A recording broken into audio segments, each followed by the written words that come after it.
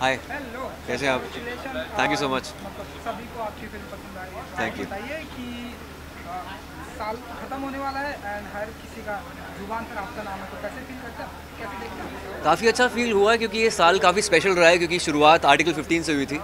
उसके बाद एक ड्रीम गर्ल आई थी, फिर बाला जो कहीं बीच में थी, वो आई थी।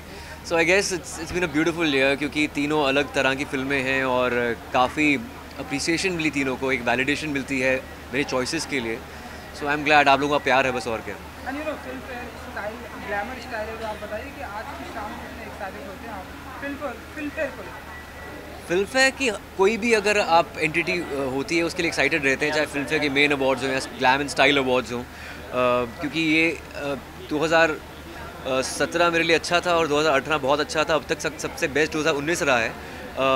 और अ, मैंने I am I am very fortunate कि मैंने ये जो अपनी एवोल्यूशन ना सिर्फ़ सिनेमा में देखी है बल्कि स्टाइल में भी देखी है। तो I am very fortunate like that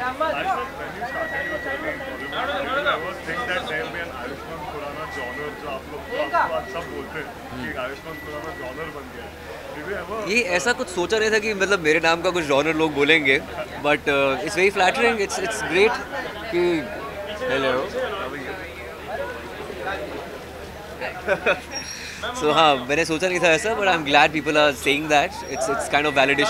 the cinema that I am doing different outfit है थोड़ा सा इसके बारे में जरा आप बताइए बहुत ही ये गौरव गुप्ता ने डिज़ाइन किया है और ईशा बंसाली ने स्टाइल किया है। और उसके अलावा मेरा काम था पहनना अच्छा लग रहा है इसलिए पहन लिया मैंने। Thank you so much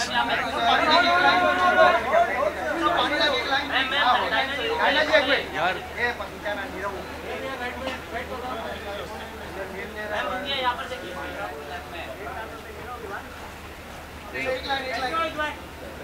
Thank you guys. Thank you so much. Thank you.